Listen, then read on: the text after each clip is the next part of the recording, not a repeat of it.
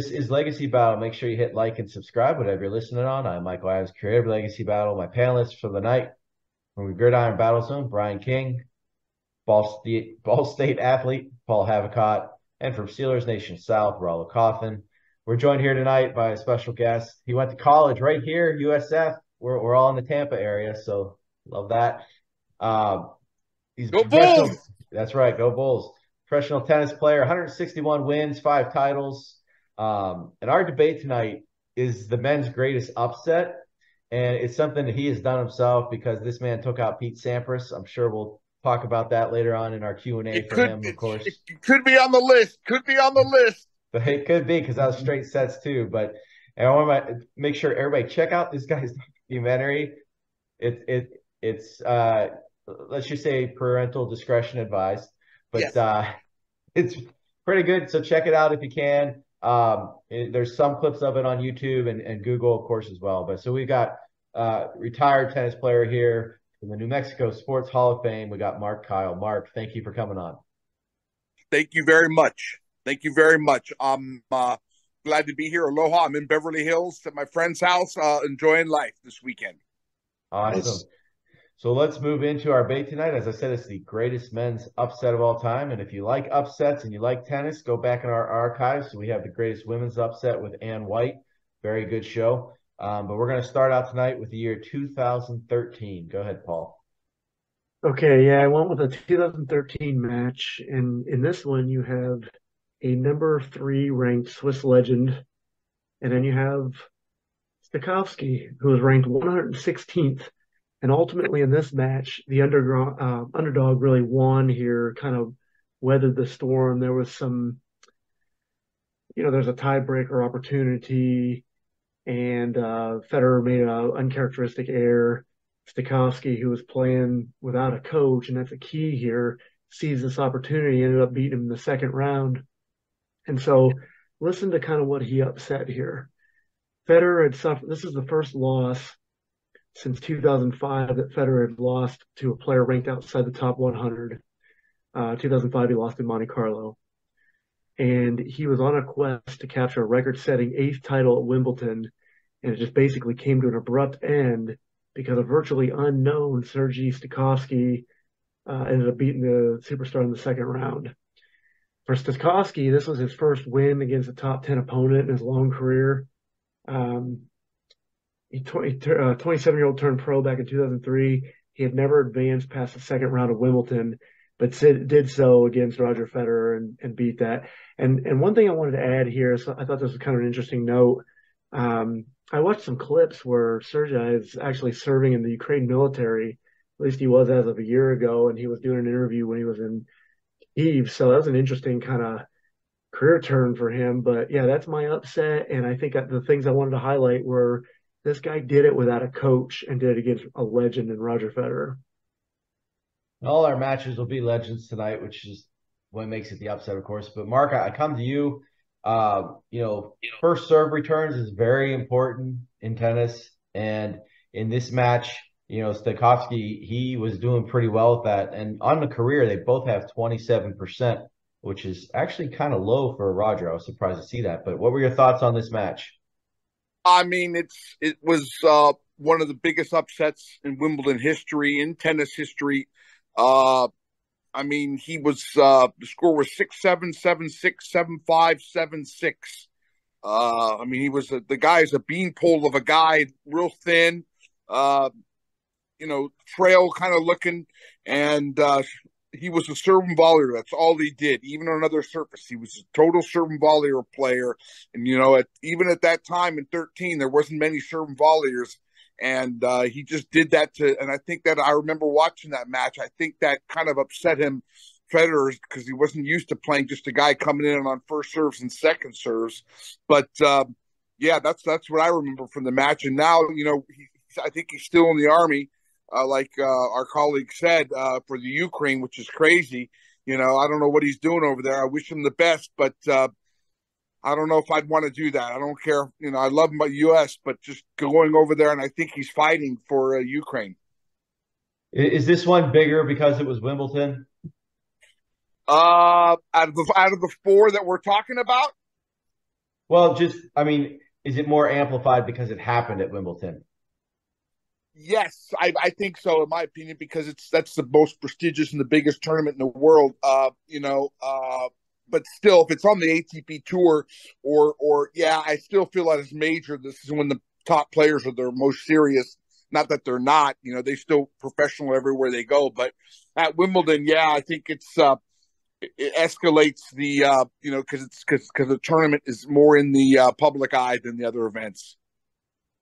So let's keep moving back in time here. Let's go 2009. All right, we got Soderling versus Rafa Nadal. This is May 31st, 2009.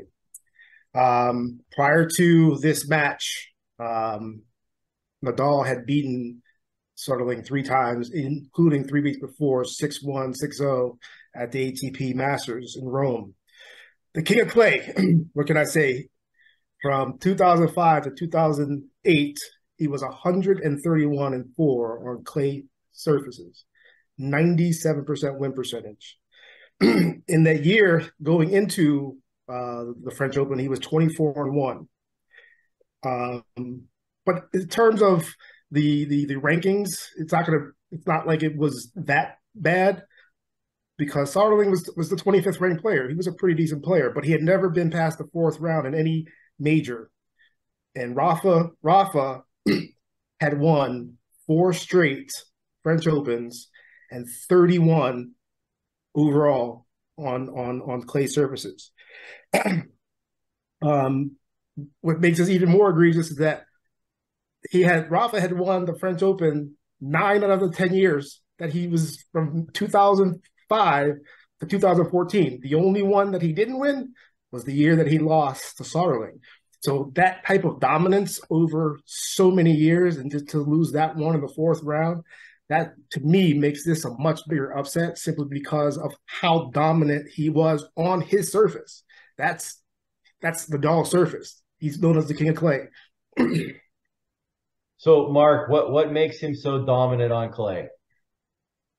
Wow, just his physical prowess, just growing up on it in Mallorca, uh, just his movement and his forehand, the massive amount of spin he puts on that forehand, that lefty RPM has never been ever in the history of tennis. No one has ever seen it. The ball just takes off and jumps up, and his mental mental fortitude is just unmatched. He plays every point like he's going to die, and he's a lefty and uh, he moves well. He's a strong guy, and he's just mentally just so there every point, and nothing other nothing ever ever bothers him, and uh, he just moves so well on the clay.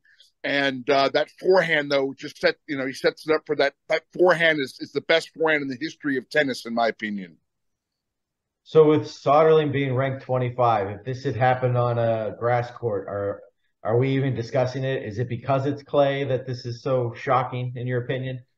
That's a great point by uh, what the, the gentleman said. Uh, uh, great point that it was on clay.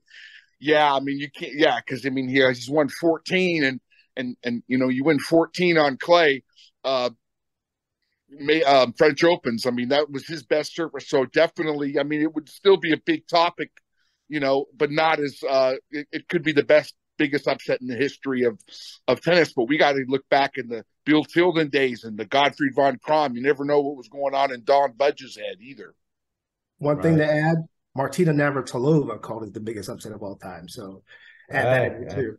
All right, that's all problem. we'll see if that helps you when we vote here. Yeah, great. Well, let's go to uh, 2002. All right, so we're going back 2002 Wimbledon tournament we got George Bastl versus Pete Sampras. So I mean, Pete Sampras was all you know one of the greatest players in tennis history. No brainer uh, induction into the Hall of Fame in 2007. He was completely dominant on the grass at Wimbledon. Now, how dominant? Well, he holds the open era record at Wimbledon with a 90% court match winning percentage, 63 wins to just seven losses.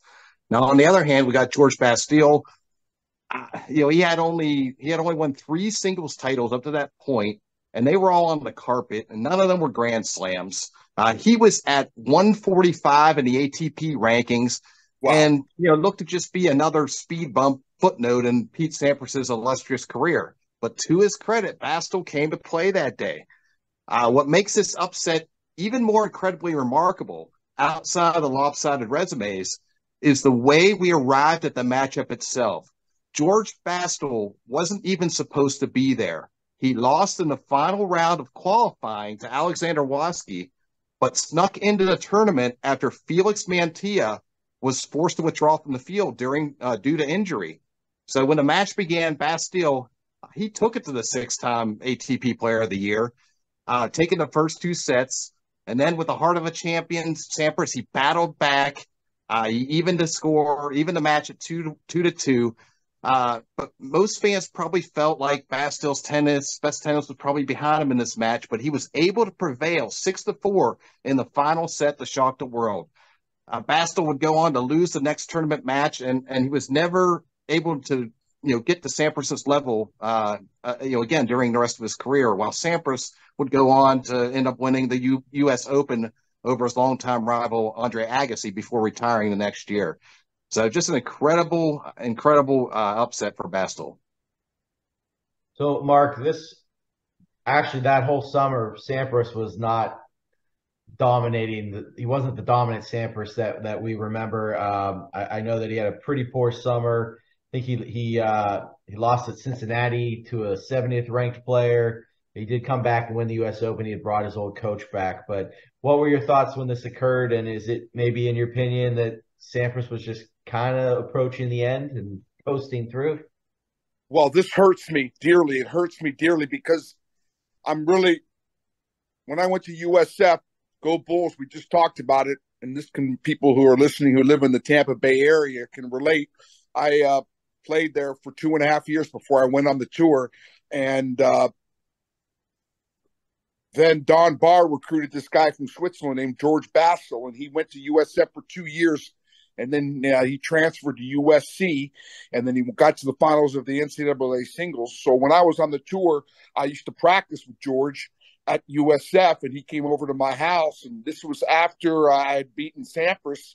So uh, he went up to me, man, and he really bothered me. But he's a really nice guy. So he'd come over, we'd have a couple beers, and uh, discuss. You know, he was like, wasn't really happy at USF and wanted to change, so he transferred and uh, so, you know, but at that time, he, you know, there's only a few players uh, considered uh, for the Hall of Fame, I think, for USF. But so then, so I knew him pretty well, and then he, and then, and then, and then we talk about the Sampras match, and then you know, a few years later, he he he uh he goes off and he does one better than me. But we were so I knew him. I had never known Pete before I beat him on grass, in 91. So I knew George. We had a relationship. I knew him. We practiced. He was a good guy from Switzerland, strong, great hockey player as a kid. But this stamp, this match was, you know, what he's lucky loser, but he did break the top 100 uh, and uh, he's a fellow bull. But I, you know, I'm trying to be. I think I'm the goat of USF because he transferred. That's not fair. He transferred and he went to USC, and he consider. I even asked him. He goes, "I can consider a Trojan," but uh, no. But he, you know, he he really played well that day. Uh, that was a that was a. Uh, uh, you know, he won six three, six two, four six, three six. He was up two sets to love, and then Sampras came back and then went to six four in the fifth and uh, you know he could have choked any time, you know, in, in the fifth set because Sampras was coming back. Um, but uh, you know, it's his biggest win of his career, and he was ranked 145. But he got the top hundred, and incidentally, uh, when we played on the tour, I got to the finals of a uh, doubles ATP tour event in Uzbekistan, and he got to the finals of the singles, and there was two guys from USF you know, in the finals of an ATP Tour event for four. And so people don't know that he went to USF, but uh, he, he did transfer. But uh, great guy, great player. And this is, uh, I still think, uh, I think uh, this could be, you know, at Wimbledon, you know, this could be uh, one of the best ever. I, I, I, I can't decide. It's, it's too close of margins, guys. Well, let's move into our final one tonight, and that's also going to be our oldest one. So we're going to August 29th, 1983. Uh, yes, I was alive for this, in case you're wondering. John McEnroe versus Bill Scanlon. Just to give you a little bit of a picture here, McEnroe has 78 titles and seven Grand Slams. Scanlon has seven titles and zero Grand Slams. So that's just to paint a little picture here for you. But before this match, McEnroe, he had beat Scanlon six times, and he would beat him another two times after this match. So the, the record is definitely in McEnroe's favor. Um, this matchup's at the U.S. Open, so it is one of the the the the, uh, the, the slams here. Uh, we got number one seed McEnroe. He was also ranked number one in the world at that time. Um, and he's up against Bill Scanlon, who came in unseeded to this matchup. Um, this was an American versus American on U.S. soil, so you know that added a little more into it. Um, and the sets were seven six, seven six, four six, six four. So there was a lot. If, if you go back and watch some of this match, vintage, let's just say vintage McEnroe was going on in this one. Um, the crowd in New York was actually backing Scanlon, and and this this pissed McEnroe off a lot because he grew up 15 minutes from from from the stadium there, so he wasn't happy about that right off the bat. And and everyone knows how McEnroe can act on the court, but um, he he was throwing complaints about the crowd, the umpires, the lines people, the noise, the the the head and, and, and even planes that were overhead he was complaining about in this match. So he was throwing every excuse out there that he could in in vintage uh, you know McEnroe style. Um, but looking at the stats, he, he just wasn't that good that day. 14 unforced errors. 10 times he double faulted. That that's a huge percentage, especially for him. And he only won 51% of his first serves. Um, so the numbers just weren't there. It's obvious why he lost. Um, but you know, this this is the match remembered from the, the 83 US Open, and this was the first time since 1977 that McIntyre, uh, or I'm sorry, McEnroe, he didn't make it to the semifinals uh, at, at the Open there. So big match. Mark, did did his temper get the best of him? Well, his temper did, but he also, out of all the players that McEnroe ever played in his career, and I know this for a fact, everyone he had played, the ones that he you know, he disliked Lendl immensely, disliked Connors. There was no one even close to how much he hated. Rest in peace, Bill Scanlon, who just passed away a couple years ago. Rest in peace. He disliked Mr. Scanlon more than anybody. He got under, and it went all the way back to juniors, and it, he got under his skin, Scanlon, and even wrote a book called uh, "Bad News." Uh, Bad News for McEnroe, which is a great book. I read it. I recommend it. Bill Scanlon wrote this book, Bad News for McEnroe, and they just they could they they totally did not like each other. And there was three, you know, they had to remove three guys, shirtless spectators, yes. for shouting during points during the match. And uh, you know, uh, Scanlon, uh, you know, the umpire warned Scanlon warned back for uh, trying to hit him during the match twice, and he actually did hit him from a little from close range. So it was yeah. such a such. I think Mac finally found someone who could get under his skin more than anybody, and just out of all the people, he did not like Bill Scanlon at all. They wouldn't even talk. It was it was much worse than Lendl and and and and uh, and Connors. So I think that that that was that was uh, that was uh, one of the main reasons. He just they just it was a total total hatred. And there, there's a, if anyone has access to NewYorkTimes.com, I mean, everyone has the internet, but yeah, you have to be subscribed on it. There's a fantastic article they have on there from 1983 after this match, and I highly suggest reading it if you're if you want to know more about this match. Really good article. But let's move into our vote tonight, guys. Cannot vote for your own. Brian, who you taking? I mean, I feel like the McEnroe one, he kind of imploded, and then the the Nadal one, I mean, it, it, was still a pretty quality guy that you know that upset him. But I mean, to, to go and to win without a coach, without having that guy in your corner, I got to give it to the dude that took out Federer. I mean, that's that. I give that guy some mad props for that. Okay, Paul. Yeah, so Brian's got a great point. And by the way, I want to call out Mark. When I was describing my match, I specifically left the scores off, and Mark rattled them off. Did you guys know this? Notice this six seven seven six seven five seven six. He rattled them off from memory. So I would vote for Brian's his Sampras upset because I, I, guess if I can't pick my own, that's the closest one I think to mine. I think you're right, Brian. I think McEnroe just imploded and caused it to himself. So I'm going with yours because it's similar to mine. Rollo. I was gonna go with Sampras, but then I just looked this up. Federer had been to 36 straight quarterfinals in Grand Slam matches before that match. He's legendary. So, so yeah, that gotta go with that one. Yeah, for me, this is this is prime Federer. This isn't Federer like three, four years ago. Like he was still he was the greatest player in the game. You know, maybe Nadal, but at, at that time. So I'm also going to take Federer. Mark, I'm going with my USF buddy, my USF. Uh, he didn't graduate there. I'm still the goat. no, I'm going to go for Bastl. He was he was the uh, he was the uh, uh, you know lucky loser. You know, lucky loser coming in taking down Pete. You know, that's my 145 and love the Bulls. That's why. There you go. So two votes for the upset there on Sampras and three votes for the upset on Federer. So the win does go to the Federer. Let's move into our Q and A. Paul, you got the win. Yeah, this is an easy question, and this is the one you can only ask if you win because everybody would want this question. But when you beat Pete Sampras, I just want you to describe like how that changed your life. What things were like before and after compared to that. Was that? I mean, are you chasing that moment the rest of your life to feel like that again?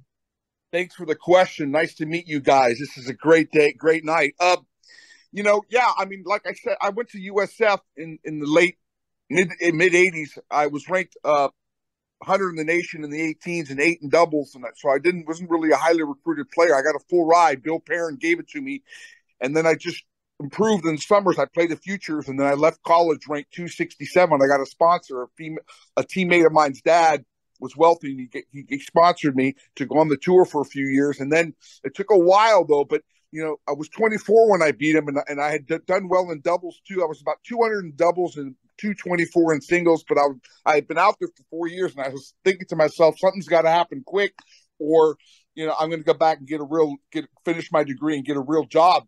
And uh, you know, qualifying, I beat three British guys in qualies, three sets, each of them, and then I beat uh, two guys, one guy, Patrick Baur, top hundred first round at Queens, three sets. So I played 12.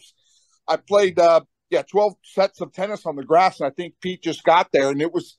It was the best moment of my life. It was on live on BBC. Yeah, it, it definitely made me realized that I could I could probably uh, that I belonged on the ATP tour. I ended up eventually becoming a double special, So I had my opportunity. I had main draws of 10 challengers after that. I jumped up to 167. I just didn't win a match for that whole summer after June, July, August. And so I was that was really a bummer. So my t- singles evolution stopped. But then I started to do well in doubles and I got top 50 in the world in doubles. And then I ended up playing another you know, I got my pension with the ATP through doubles because if you finish top 60 in doubles uh, for five years, doesn't have to be consecutive, or top 150 in singles uh, doesn't have to be consecutive. You get a pension for 20 years from from 49 to 69, a monthly pension. So I got that in the doubles, but it would have been nice to crack the top 100.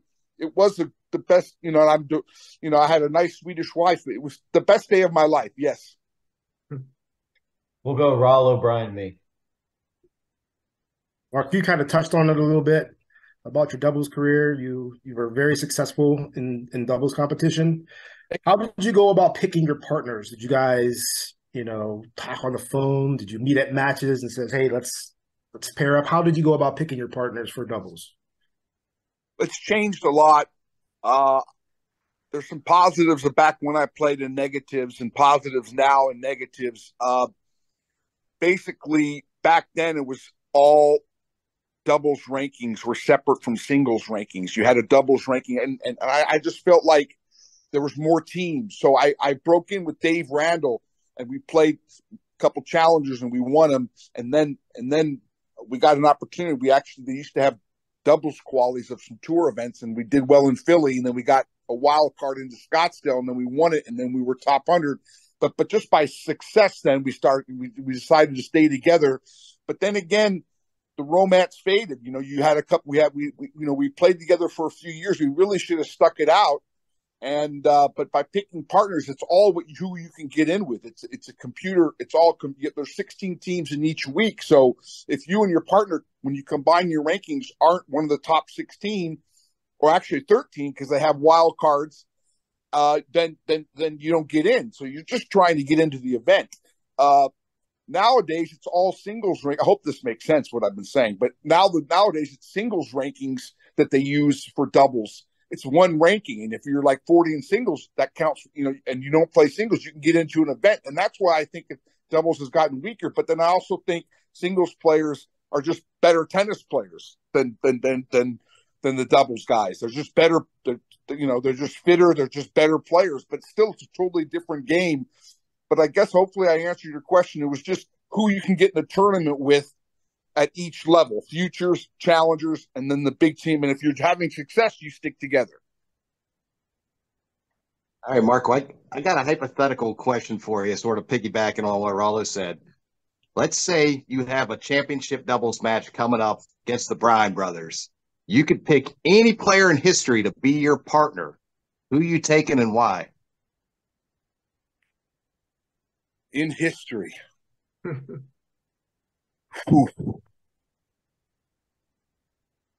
I'm going to go with, I mean, it's a standard answer. You know who I'm going to pick.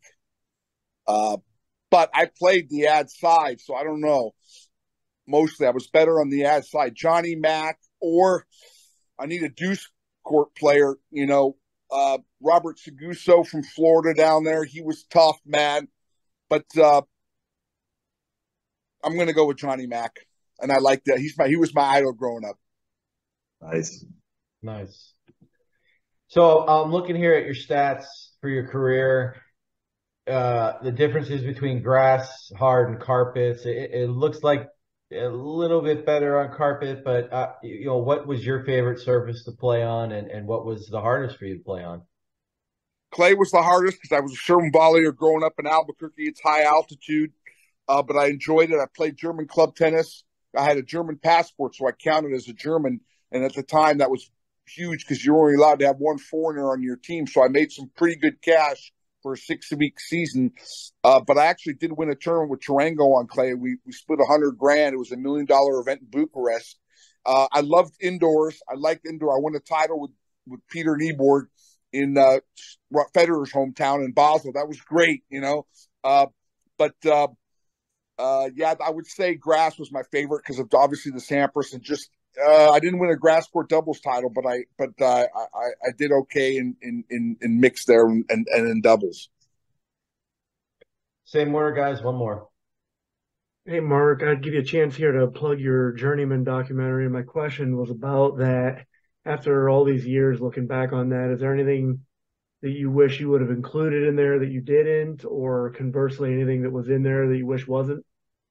I shouldn't have made the film. Didn't make me look very good. No, but uh, uh, uh, if you've seen it, uh, it, no, it was a catharsis project. At the end of my career, I had done well for ten years. At the end there, I was getting divorced.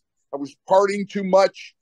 Uh, my ranking dropped out of the top hundred, but I but I loved film and I needed a hobby and I wanted. So Jeff and I did this film, and we were fortunate enough that that, that someone actually took our footage and made it, and it was aired in eleven countries. You can get it now on Vimeo uh, Vimeo, uh, you can purchase it for a couple bucks. I still have it out there. But uh, if I, I would have added, I would have liked to added more of the training part, the off court that we were doing. We still were training off court. I don't think I showed enough how hard it is and difficult it is and what we were doing. I should have added more of the weightlifting and the running and the plyometrics that people do. I don't know if I was doing enough of it at the end there. And what would I have left out? I would have left out the vulgar vulgarity. Now I'm 56. I, you know, I I would have left out the drinking. I had a beer driving a car. I would have left that out. So, uh, you know, in the language and, and, and, and maybe the philandering with the women. Go ahead, Rollo. So this is kind of a two part question. So after the Sampras win, did the women, did more women come around? Oh, uh, was uh, no, was great. I, I, got, I got to admit, it was it was you know being at USF was was was great. It's a nice place. Being an athlete there, I was obviously much fitter than I am now, but it was nice. The attention was great. But then on the tour, it was just to me it was a different level. I was happy to be there. You know, because you have a player party during the week. Uh, every week you go, and it's kind of a big deal in each city.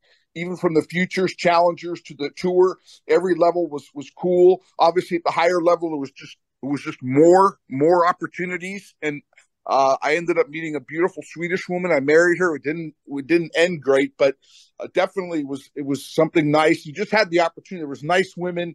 Uh, it wasn't like groupies, like, and they were more high class, I think, than other professional sports. I'm not trying to, you know, downgrade other, but you know, tennis tournaments, they have the girls working there that are working in the tents in the back and they're selling stuff. And then you go out in the town in Vienna and you're meeting people that are, you know, and they come to the player party. It's just higher class of uh, females. And it was great for uh, 12 years. It was the Roman Empire.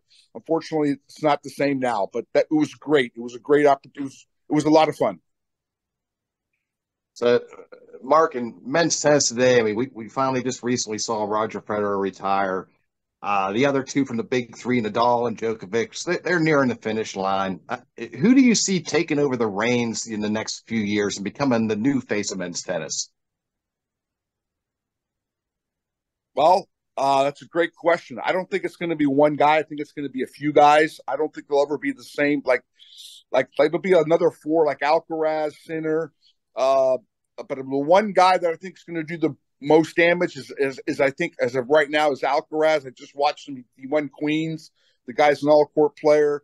Uh, Sinner impresses me a lot. The Rune kid is good. Tsitsipas, you know, he's loving life. He's got a really nice girlfriend, and now he's just beat Murray. He just couldn't be. I mean, his he he's doing a lot better than me right now. Tsitsipas with his girlfriend and and then round of sixteen of the of Wimbledon. But yeah, I'd say Tsitsipas, Rune. You know, the one guy though would be Alcaraz. Nice.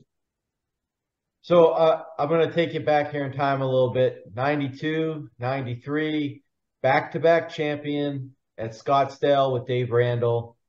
What what worked for you there in, uh, in Arizona, and and what worked so well with Dave Randall? Dave Randall, the best tennis player ever to come out of the state of Mississippi. There's another guy, Devin Brighton, who won Junior Wimbledon and the NCAA's at Ole Miss. But I think Dave etches him out professionally. Uh, there's a female that was uh, T.J. Middleton's wife. Uh, he played on the tour. She was top 200, but I, I, go with Dave. I like Dave. Uh, Dave Randall, good guy from Ole Miss. He would hit people off the return on the deuce side with his return. He would hit it so hard. He used to hold the racket like you're riding a motorcycle on the return. One left hand on the like like it was like this. It was like you have it was like a motorcycle, like you're riding a motorcycle. That's how he held the racket with the with the big head on the left side, and he would just spank the hell out of it. And uh, we actually played Philly the week before Scottsdale, and we qualified and and went around, beat Con, uh, and then we lost to Connell Michibata, and then we flew to to Arizona thinking we were going to get in. We were about 150, both of us ATP, and then I talked to Gus Sampras, who was a tournament director, Pete's brother, and said, "Hey, you know, no one had asked for a wild card." And I told him I had grown up in that section, which was which I grew up in New Mexico, and they gave us the wild card, and then we won the tournament. So we took advantage of the opportunity, and then after that, we went down to the Lipton, got to the quarters.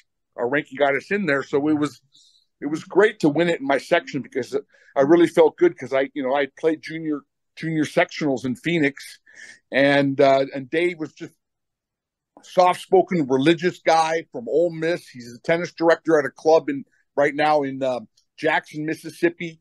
So if you ever go through Jackson, you got to go take a lesson from good old Dave Randall. He he, he actually had a great singles win. I think he, he beat Muster, uh, uh, and he played Connors uh, at the LA Open. He qualified, so he was a good singles player too. He's not the best out of Ole Miss. There's been a lot of good players like Mahesh Bhupathi, but he's the best person that grew up, I think, in in in in, the history of tennis for men or women in the state of Mississippi. Southern guy, and we just did well. We just clicked. We just clicked. Uh, I played the ad side. He was a deuce guy, and uh, we were told a little bit opposites off the court. Uh, but that's okay. You know, we just were business and, and we won a couple titles and it was great. And then we came back and won it. My mom came and watched. She lives still in Albuquerque. It was a lot of fun. And uh, I like going back to Scottsdale. My mom lives in that area though now, so I sometimes drive by that hotel. They don't have the facility there anymore at the uh, tournament site, and it's non-existent. The tournament. Yeah, that was a hard court, wasn't it?